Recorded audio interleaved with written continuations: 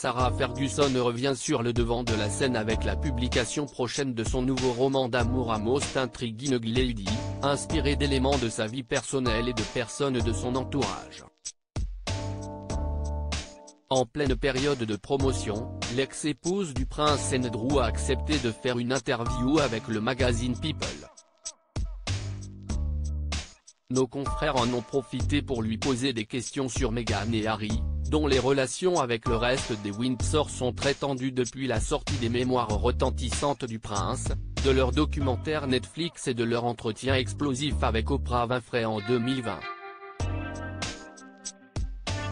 Les Sussex ont en effet souvent accusé la famille royale de comportements déplacés et méprisants à leur égard.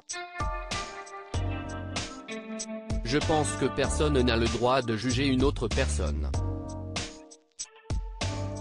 Je ne suis moi-même pas en position d'émettre des jugements, a déclaré la romancière. Si Sarah Ferguson n'a pas voulu jeter la pierre à Meghan et Harry, c'est parce que son ex-mari est lui aussi un paria de la cour royale. Andrew a en effet évité de peu un procès pour viol et agression sexuelle contre Virginia Giuffre, lui qui était un proche de Jeffrey Epstein, un criminel sexuel incarcéré et décédé en 2019.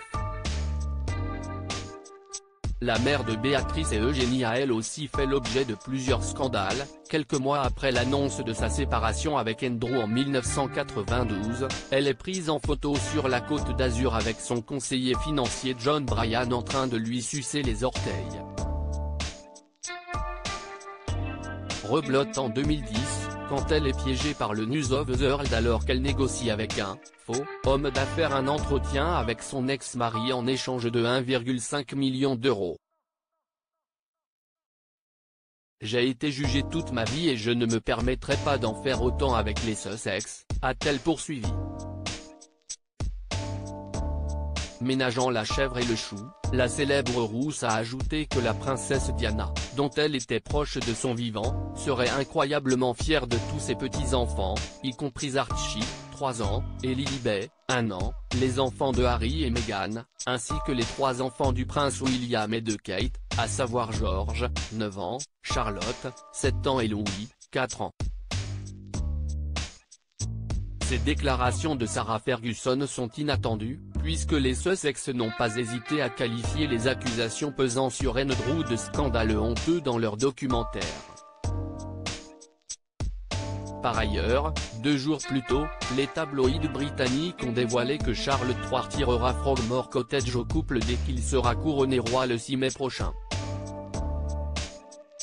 Il réattribuera la demeure des Sussex à son frère, Andrew supérieur à supérieur à Sarah Ferguson et le prince Andrew, une histoire d'amour singulière Sarah Ferguson s'apprête à évoquer sa relation avec Elizabeth II Ce n'est pas la seule prise de parole que Sarah Ferguson compte faire sur la famille royale britannique.